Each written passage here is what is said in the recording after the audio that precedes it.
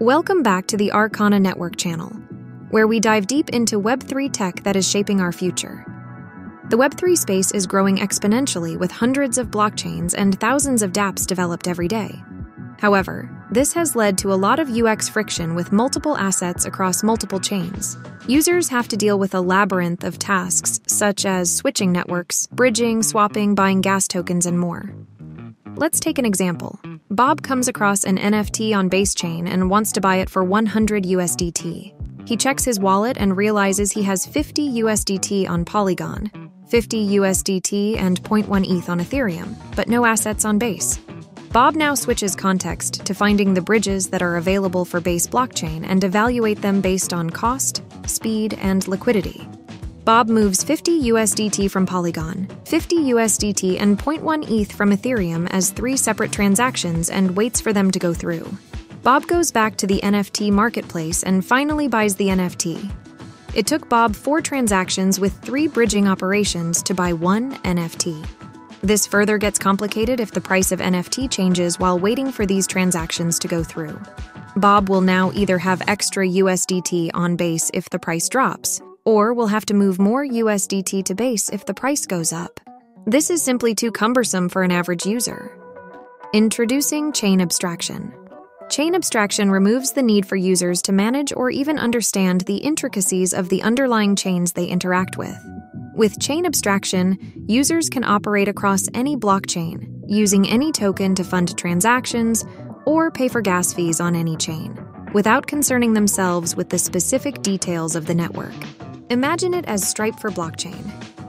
Before Stripe was developed, international customers faced hurdles with diverse banks, payment methods, and currencies. Stripe revolutionized this by abstracting away the complexities of financial transactions. Once integrated into an app, Stripe allows users to pay using any method and currency from anywhere. Similarly, chain abstraction enables a seamless, unified interface where the blockchain's complexity is handled in the background, invisible to the end user. Now let's revisit the previous example with chain abstraction. Bob wants to buy an NFT on Base Chain for 100 USDT. His funds are on Polygon and Ethereum chain. Bob simply needs to hit purchase chain abstraction protocols will automatically perform the necessary steps in the backend in a fast and capital efficient manner. Bob is now funded on Basechain to complete the purchase in just one step within seconds. Here are a few of the benefits of chain abstraction. It makes the blockchain experience straightforward and user friendly. It reduces the learning curve for new users. It reduces the time and effort required to perform cross chain operations. Users' funds are no longer split across multiple wallets or chains.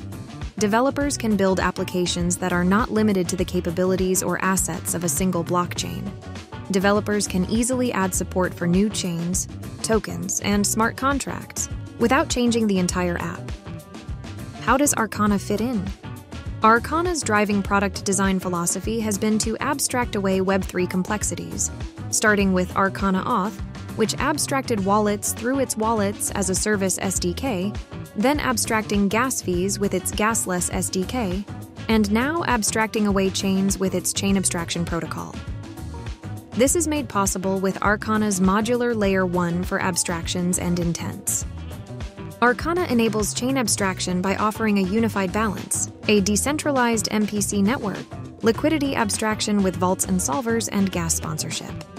In conclusion, Arcana's chain abstraction has the potential to revolutionize users' interactions with decentralized applications and blockchain networks.